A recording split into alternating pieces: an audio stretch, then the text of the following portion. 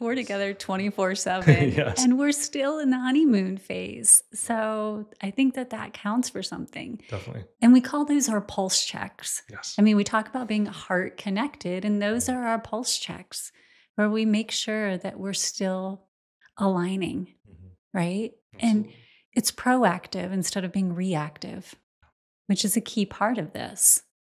Knowing that we're not out to get each other. Because another tip number two is realizing that our brains tend to go into negative brain bias, right? It's a human thing, it happens. But we don't have to give in to that.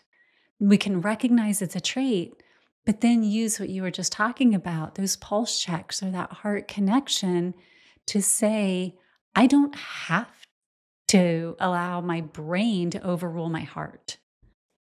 My heart knows this person.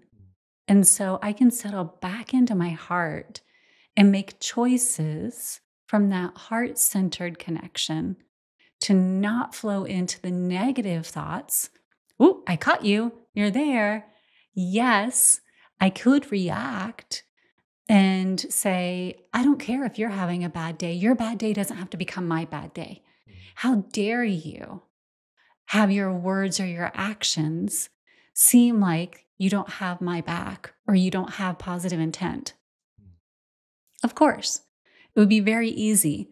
But if you're already having a bad day, how are you going to respond to that? Yeah. Right? We're going to go down a path that isn't going to benefit either one of us. Right. But if I can take that moment and go, well, wait a second, pulse check. This morning, and clearly this morning, you actually said when I asked you how how are you doing this morning? How are you feeling? You said, I don't know. Which to me is one of the best answers in the world because then, you know, tons of room to figure it out. But it also let me know that any action today or any words is you discovering Mhm. and has nothing to do with me. Mhm. But I have to then constantly return to my heart centered space and that pulse check and not go to my negative brain bias and allow that to take over. Yeah, that's really good, and I I appreciate you stating that and being aware and recognizing that it is a, a discovery. Because yes, I mean I'm, I'm sure we've all been there when we're sometimes we don't even realize we're having an off day. Mm. Sometimes we it's just there's so much going on. We haven't really thought about whether it's a good day, a bad day, an off day, an on day. It doesn't, you know, those that's just not really in the flow. And you're like you're in the middle of a conversation and you're kind of realizing, oh, you know, I'm I'm really not feeling that great. Or just the response back from from you, for example, like when we're talking and I'm like, oh, that's not that's not the response I, I anticipated. You know, maybe maybe I'm not communicating well because I'm having more of an off day than I realize. And so that discovery aspect is is really great.